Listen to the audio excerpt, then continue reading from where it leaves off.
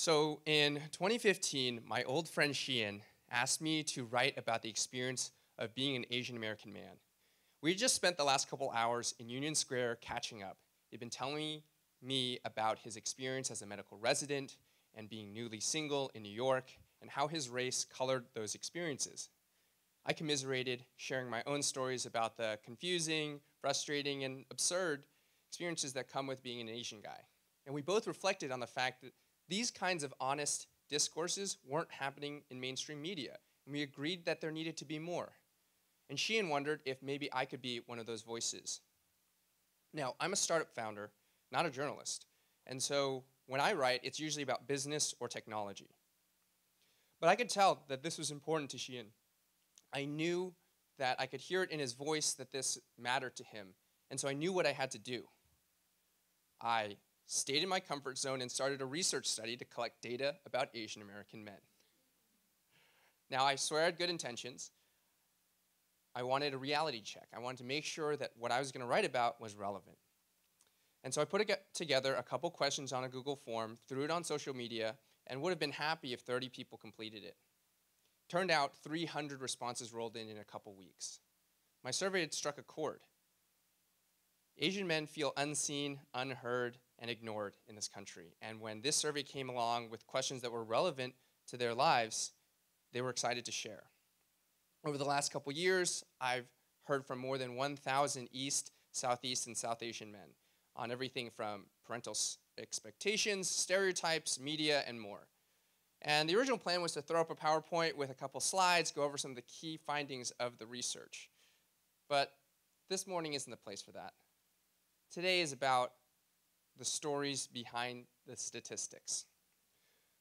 So, if you ask Asian guys how their race affects their life, and they're sufficiently honest or sufficiently liquored up, um, they're going to talk about dating.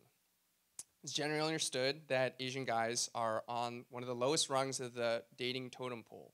We have some of the lowest response rates on OkCupid compared to black men, Asian or white men, and Latino men. Um, and gay Asians have to look for no rice or no curry on Grindr before messaging. And our own research has found that nearly two thirds of Asian men have heard, I don't date Asian guys, said to them or in their presence. And 20% of guys have heard it six or more times. You know, I know that as men we have a reputation for being dense, but this message is coming through loud and clear. It took me some time to find my own confidence dating as an Asian guy. I remember in college, uh, breaking up with my first girlfriend who was Asian and feeling bummed out. I was on the gymnastics team, and one of my teammates, white boy from Texas, tried to cheer me up. He said, Shen, you're a good looking guy. You should be cleaning up with the Asian girls on campus. Now, if I had to write a program that could generate statements that were simultaneously racist and sexist, that's the kind of thing I would expect to come out. I don't think he meant it, but his implication was that as a white guy, he could and date and did date people from all different backgrounds. But as an Asian guy, I was limited to dating Asian people. So later that semester, when I started dating a white girl, I felt like hot shit. she was French, she was a fellow athlete, and she was an East Asian Studies major. Now, I know what you're all thinking, but this was not a random hookup. We were together for two years, it was a real relationship. But at the same time, during that process, I was feeling proud of myself for dating a white person. It felt like an achievement, like I was better. And I'll be the first to admit that that kind of thinking was wrong. I'm getting married next month. Thank you. Um, and my fiance is Thai and Indonesian, and she had a similar experience uh, growing up thinking that she was supposed to be attracted to white guys and not to Asian guys. And as she got older, she actually found herself confused when she was feeling, uh, get developing feelings for Asian guys and being like, "What's happening? I thought this wasn't supposed to be the deal."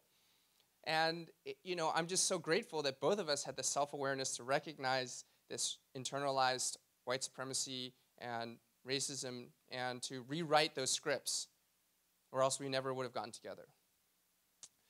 So we all know, this room in particular, that media is such a powerful influence on how uh, what we aspire to do and be.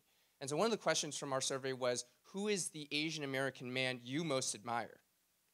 I mean, think about that for yourselves. If I was to ask you, who is an Asian American man you admire, who has someone in mind? Who, raise your hands if you have someone that you can think of. Right? Raise your hands if you're like, ooh, that's a good question. Like, who, who would I say? Right? So you're not alone. I mean, when we asked this survey, the number one response was, I can't think of anybody. I don't know. No one comes to mind. Right? The second response was a male relative, brother, father, uncle. The number three person, the first named individual, was Bruce Lee.